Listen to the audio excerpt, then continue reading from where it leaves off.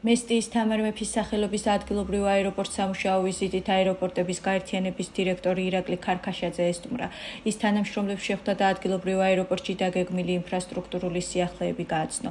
მან ასევე ისაუბრა ახალი მიმართულებების დამატების შესახებ და ხაზი გაუსვა, რომ შიდაფრენების შესყიდვების ტენდერი მალე გამოცხადდება.